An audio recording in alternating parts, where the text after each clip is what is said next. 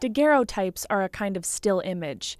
They look almost like little mirrors with portraits on them, and they were popular in the mid 1800s, before any other kind of film process was developed. The University of Rochester has an exhibit of these relics on display at the Rush Rhees Library, and they've recently added a daguerreotype of Frederick Douglass. Lori Birrell is the curator of the Frederick Douglass Papers for the university. This is a daguerreotype that was taken, you know, just after he moved to Rochester. He's just starting his newspaper, The North Star. He's meeting people like Isaac and Amy Post, who lived here in Rochester and were also friends with Susan B. Anthony. And so he's really becoming a part of the fabric of Rochester society. Frederick Douglass was still a fugitive at the time it was taken, and he gave it to Susan B. Anthony.